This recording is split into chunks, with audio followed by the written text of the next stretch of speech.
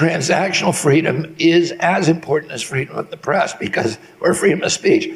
Because if you have freedom of speech in the, in the First Amendment, and yet when you exercise that speech, the government doesn't like it, they can starve you to death, they can throw you out of your home because you can't pay your mortgage or your rent, uh, then that is meaningless. So transactional freedom is absolutely critical to freedom of speech, and you know that's why I've supported.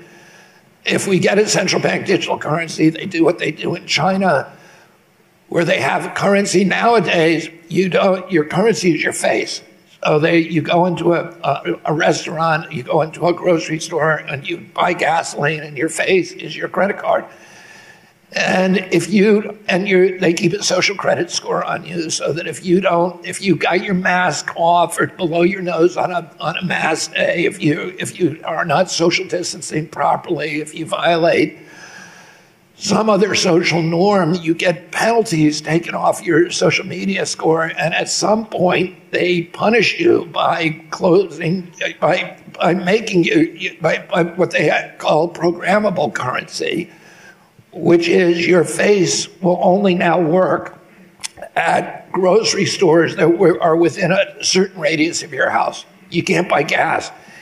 You can't buy an airplane ticket. You can't buy anything else. So you're basically under home confinement. Like the truckers in Canada, they were never charged with a crime. They were certainly never convicted. It was just they were doing something the government didn't like the government was able to destroy their lives. And that is a very dangerous power to give government. And that's why I'm against central bank digital currencies, because that is part of the path to getting us where China is today. That's where they started. That's where all these other countries started with a central bank digital currency. And, uh, and it's the end of freedom. We will be slaves if we allow that to happen.